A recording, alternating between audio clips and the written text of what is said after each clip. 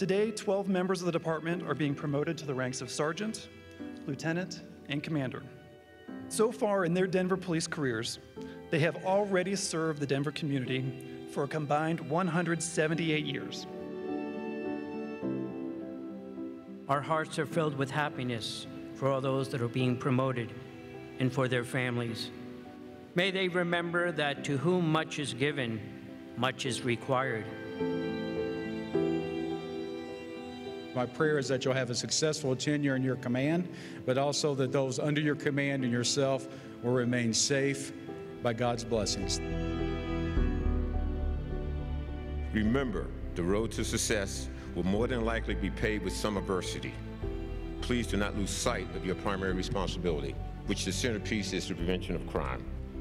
We're all counting on you to make a difference in our community. Congratulations.